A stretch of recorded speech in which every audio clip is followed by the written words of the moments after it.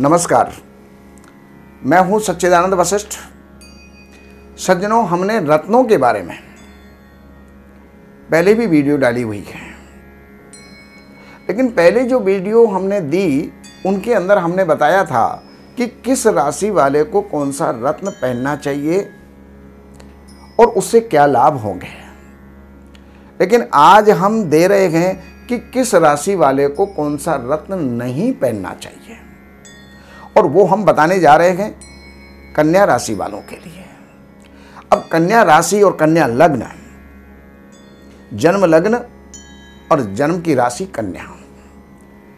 अब वो कन्या राशि आपके जन्म के नक्षत्र के आधार पर होनी चाहिए। तभी जाकर के ये नियम आपके साथ में लागू होंगे। अब कई बार हमें कमेंट बॉक्स के अंदर लोग लिख देते हैं, आप तो जो हैं केवल पुरुष प्रधान फलादेश देते हैं। आप स्त्रियों के लिए कुछ नहीं बताते, जो राशि वो तो स्त्रियों की भी है और पुरुषों की भी है।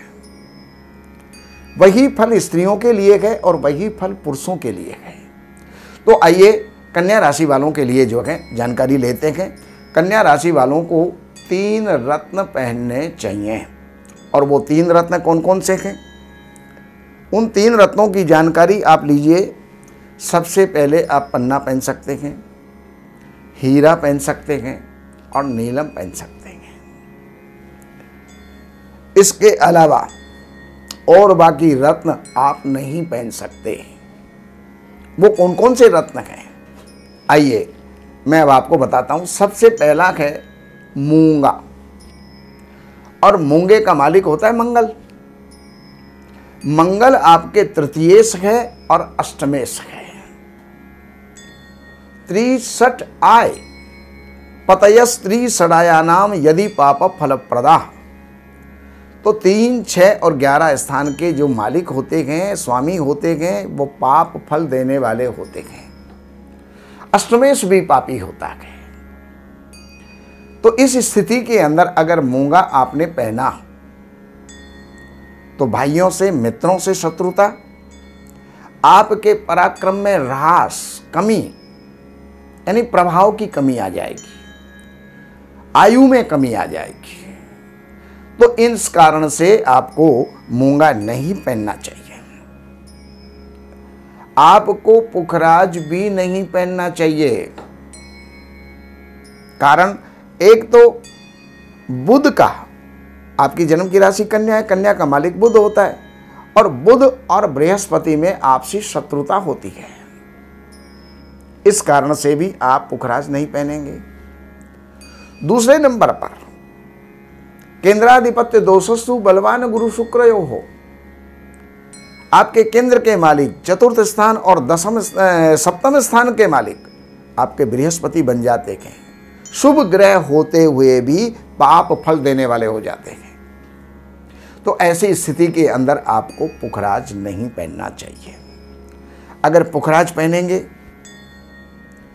तो माता के साथ संबंध बिगाड़ देगा, पत्नी के साथ संबंध बिगड़ जाएँगे, भूमि, भवन, वाहन संबंधी जो है आपके विवाद पैदा हो जाएँगे और आप अपयश को प्राप्त करेंगे।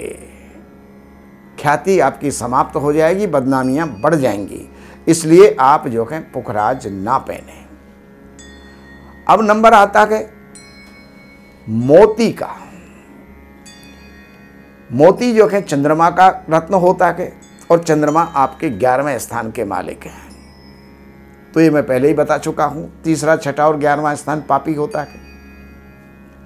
तो ग्यारहवें स्थान के मालिक को कभी भी बल नहीं देना चाहिए। अतः आप मोती नहीं पहनेंगे। अन्यथा जहाँ जहाँ भी चंद्रमा जो है, बैठेगा, उस जगह पर उस स्थान के जो भी परिणाम होते हैं, उनमें अशुभता ला देगा। और एक बात अब और है।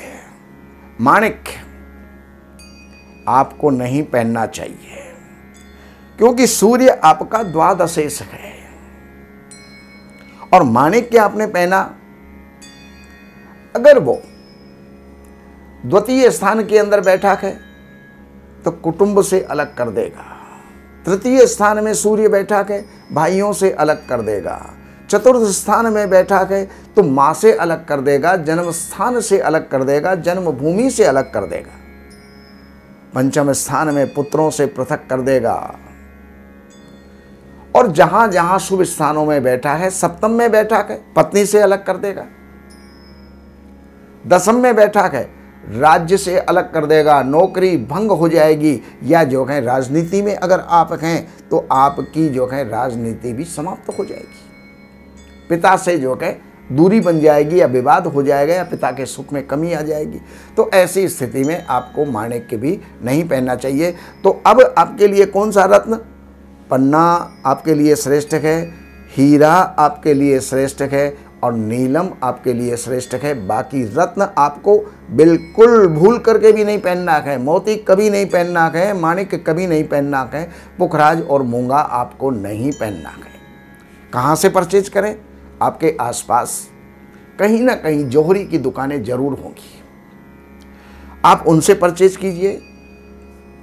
रत्न भी मिलते हैं, उपरत्न भी मिलते हैं, सहायक रत्न भी मिलते हैं और उनका मार्का भी मिलता है। लेकिन आप लैब टेस्टेड सर्टिफाइड रत्न आप खरीदिएगा, उसमें कहीं कोई धोखा नहीं है। कीमत रत्नों की क्वालिटी के हिसाब से होता है।